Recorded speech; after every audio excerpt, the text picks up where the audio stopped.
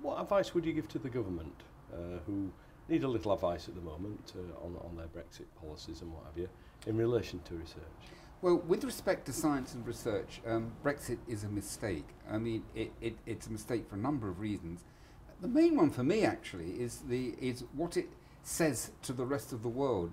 When I travel around the world, which I do a lot, it all, what they say is, why are you turning in on yourselves? They don't see Brexit as embracing the rest of the world, as sometimes it's spoken about. They see it as simply turning back um, away from the world and, in fact, trying to turn back um, history to something that actually probably never existed, but which they imagine existed in uh, 1900 or something like that. So it's, it's, it's not good.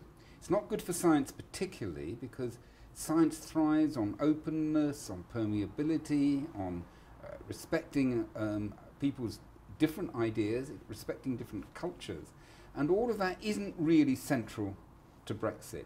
And we got to uh, um, accept that uh, Europe is the strongest scientific um, grouping in the world, stronger than the US, stronger than China for the time being at least. And the UK was the leader of science in Europe. So we were uh, really poised at having an amazingly important role for science in the world, which we have thrown away with um, walking away from Europe. So I, I think it is a problem for science, problem even for funding, because actually um, we, uh, we put in um, money into Europe in science, but we get back nearly one billion pounds more than we put in. The government hasn't yet told us where on earth that money's coming from. It's got to come from some other budget. It's got to come from farming or infrastructure or um, expenditure on science from the government's going to be reduced 15, maybe 20%. And I don't think they've even thought about that yet. Should we have never had a vote?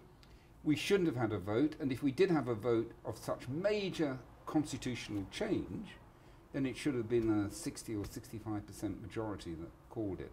To call such a, a referendum on a, a 50% majority obviously could uh, led to what is a completely divided country. And who knows what's going to happen? I mean, at the moment we're in political chaos. I mean, where will we be in a few months? I mean, it, it, if I wasn't such an optimistic person, which I am, I would be a bit scared. Are you allowed to tell us what you're working on at the moment? What, what does a Nobel laureate work on after he's already won a Nobel Prize? Well, I mainly work on not suffering from the disease of what I call Nobelitis. Um, uh, what happens is when you get the Nobel Prize, everybody tends to think you know suddenly everything about everything. The real danger is when you start believing that you know everything about everything. That's the disease I call Nobelitis. So a, a, big part of what I try and do is to avoid Nobelitis. My family helped me greatly in that, by the way, as well. They keep me uh, mostly in order. I, I have several jobs in a way.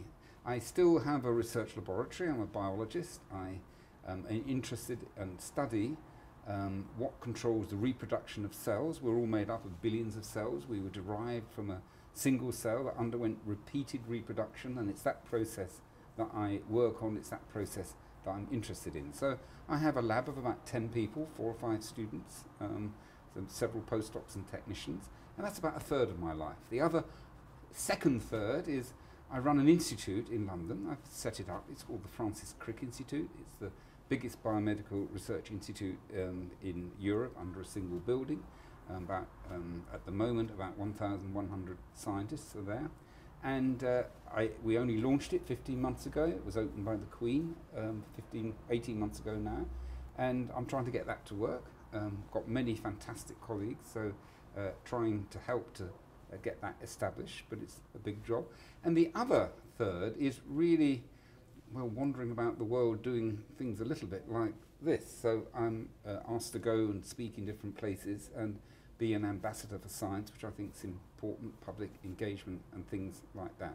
So that's how I divide up do, my Do you life. enjoy working with students?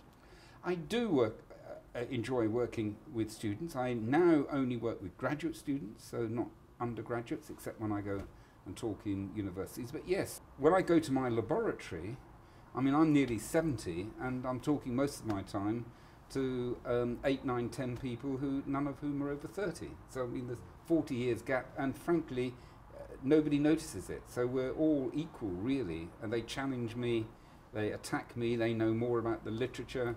I mean, it's than I do because I don't have the time to read it. It's a very equal sort of relationship, just like I want it to be, and actually I suspect keeps me sort of youthful thinking. Paul, I hope you've enjoyed your day with us, and I hope we see you again. I really enjoyed it. Everybody's been very nice to me, and you will certainly see me again. The University of Huddersfield, inspiring tomorrow's professionals.